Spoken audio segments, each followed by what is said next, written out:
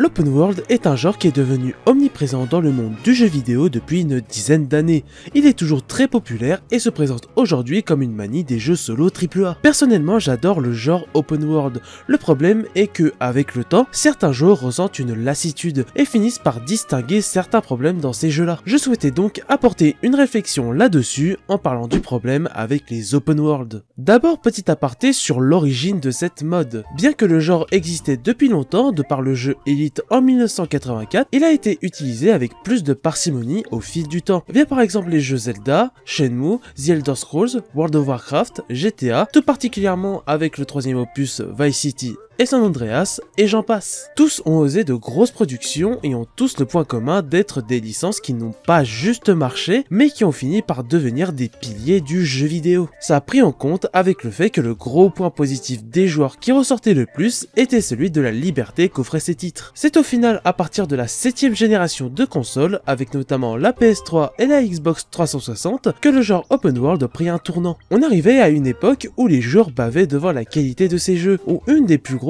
était justement la liberté offerte. Ce qui faisait qu'en parallèle, les jeux en couloir et linéaires commençaient à de plus en plus avoir la vie dure, de fait que les joueurs comparaient les deux genres. Ce n'est même pas forcément exagéré de dire qu'un jeu en couloir était devenu un défaut. Tout ça pris en compte avec la puissance que proposaient désormais les machines, ainsi que l'inspiration envers le modèle casual qu'avait apporté les célébrissimes jeux GTA sur PS2, le chemin de l'open world était déjà tout tracé, du moins presque, vu qu'une des licences apparues en 2007 confirma totalement là où se dirigeait le jeu vidéo, surtout solo, via Assassin's Creed. Il apporta avec lui un modèle d'action-aventure qui fera la fierté d'Ubisoft et qui sera beaucoup repris pour ce même genre, voire même pour d'autres. Le problème à chaque mode, c'est que tout finit par s'uniformiser, faisant passer de la joie à la lassitude. Les joueurs se plaignent que cela soit toujours une map immense, qui des fois être pas mal vide pour réaliser la plus grande carte possible, la quête principale, les quêtes secondaires, des activités annexes et des collectibles jusqu'à plus soif. Récemment, je suis tombé sur une conférence de Yoko Taro, personnalité du jeu vidéo connue pour son travail sur la série Drakengard et Nier.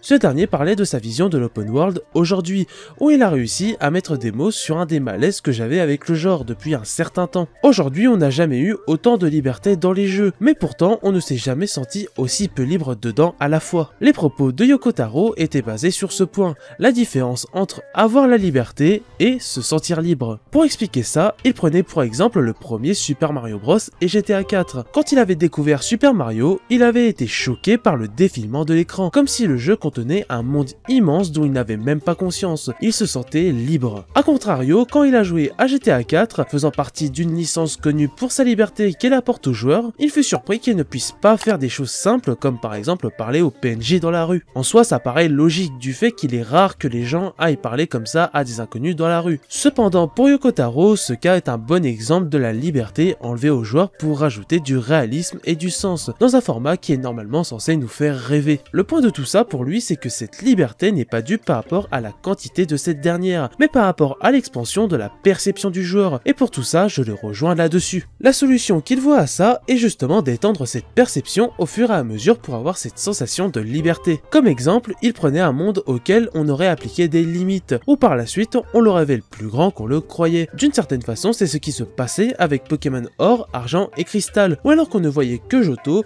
on se retrouvait surpris de découvrir qu'on pouvait aller à Kanto après la fin du jeu. Alors attention, tout ça ne veut pas dire que pour ressentir de la liberté, il faut simplement cacher une partie de la map pour la dévoiler après. C'est une métaphore, celle de mettre une perception de base et comprendre au fur et à mesure de ce qui nous est réellement possible de faire. Cela peut s'exprimer par plein de choses, et Zelda Breath of the Wild est un des titres récents ayant réussi à exprimer au mieux ce concept. Sur un ton plus personnel, un autre problème auquel il faudrait venir à bout, c'est celui du réalisme du rythme entre la quête principale et le reste. Vous avez peut-être déjà vu ce même, qui pour moi représente parfaitement le problème. On essaye souvent de nous donner un sentiment d'urgence dans la quête principale, mais au final, il n'est souvent que trop factice, du fait qu'on ne le ressente que rarement dans le monde en lui-même. Cela peut finir par donner un problème de rythme à notre aventure, impactant donc négativement la narration, du fait que l'on peut finir par se dire de soit se priver de la liberté que nous offre le jeu, soit de dire qu'on pourrait faire ça après la fin de celui-ci, sans savoir si cela est vraiment possible. Le tout pour rester cohérent avec la narration, sauf dans le deuxième cas où les quêtes secondaires peuvent se dérouler à un certain moment de l'histoire sans qu'on le sache. Ou sinon de faire un peu dans le bazar qu'on nous propose au détriment de l'histoire et du rythme qu'elle tend à proposer. C'est d'ailleurs une qualité et à la fois un défaut que je trouve encore une fois à Brief of the Wild, où nos objectifs sont clairs quasi dès le départ, où on sait qu'en soit sur la majorité de ces derniers, on nous attend depuis tellement longtemps qu'un peu plus ne sera pas bien grave, et où théoriquement on peut finir le jeu dès le début. Le problème est que bien qu'avec tout ça, quand Zelda parle à Link, elle réfère bien le sentiment d'urgence, et qu'en réfléchissant d'une façon RP et logique, je me dirais que mon temps est bien compté, où Zelda n'arriverait plus à contenir Ganon à un moment ou un autre, et que ça serait donc la merde. Pour éviter ça, il faudrait soit faire évoluer le monde en conséquence, soit arrêter avec ce système d'urgence. Par exemple, imaginons que tu te trouves dans un jeu à l'époque du Moyen-Âge, et la cité que tu défends sera bientôt le témoin d'une attaque armée, ce qui fait que logiquement la population va se cloisonner ou évacuer, ce qui fait que plein d'activités seront suspendues tant que ce cas urgent ne sera pas réglé. Et là encore, je pense que ça devrait arriver avec parcimonie ces cas d'urgence, et pas seulement à la fin comme certains jeux l'imposent. Ce raisonnement, il s'applique aussi aux quêtes secondaires,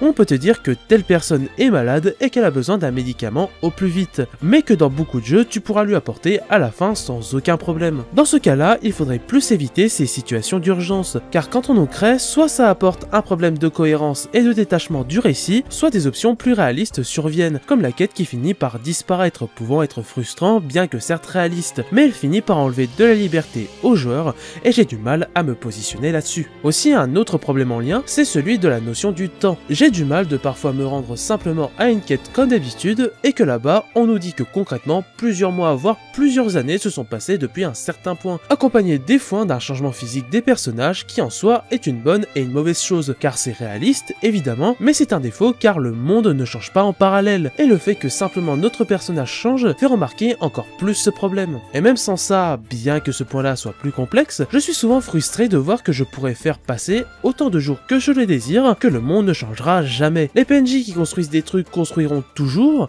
les enfants resteront toujours des enfants, rien ne s'améliorera ou ne se dégradera, etc., etc. Bref, vivre une aventure dans un monde cohérent et vivant. Certains open world comprennent ces principes-là et évoluent peu à peu là-dessus. Zelda Breath of the Wild, une fois de plus, et The Witcher 3 sont de bons exemples. J'espère qu'à l'avenir, nous aurons des jeux avec plus de possibilités, une plus grande sensation de liberté, quitte à avoir un plus petit monde, mais tant qu'il est bien rempli, je serai heureux de faire ce sacrifice. Quel est votre avis sur tout ça? Ressentez-vous une lassitude des open world ou vous êtes pleinement satisfait du modèle en place? C'était avant tout une réflexion de ma part, donc j'espère qu'on pourra en débattre dans les commentaires. Pensez au pouce bleu, à vous abonner et à checker les liens en description, notamment mon Twitter où je suis le plus actif. Je vous remercie d'avoir suivi la vidéo jusqu'au bout, c'était Dorian, tchuss